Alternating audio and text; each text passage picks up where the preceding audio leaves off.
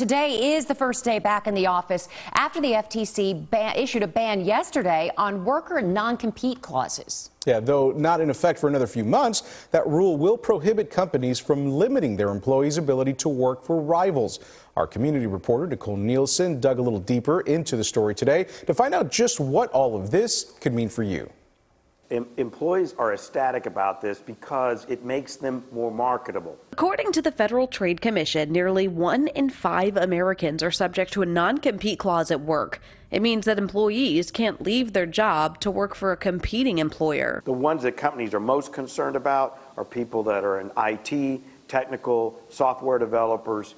The Federal Trade Commission voted 3 to 2 to approve a ban against non-competes on Tuesday afternoon when the new rule takes effect in 120 days. It makes all new and existing non-competes unenforceable, except for those at a senior executive level. Dallas employment attorney Rogge Dunn says it's big news for employees who lose their leverage when having to sign a non compete clause. It forces their current company to pay them the value that they're worth. According to the FTC, the new rule could increase wages by nearly $300 billion per year, but the new rule won't go unchallenged. Within hours of the vote, the U.S. Chamber of Commerce said it would sue to block the rule. Here in Dallas, global tax firm CEO G. Brint Ryan filed a lawsuit yesterday in federal court for the Northern District of Texas against non-competes. We reached out for a statement today in which she described the FTC's new ban as unlawful. There may be a possibility that the, the FTC kicks the can down the road. Dunn says he expects it to be heavily challenged in court, even possibly delaying results. But in the end, he predicts employees just might win this this battle. I think that this rule will be upheld by a court. I think you're going to see the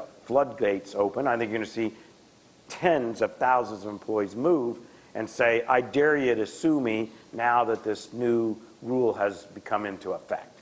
In Dallas, Nicole Nielsen, CBS News, Texas.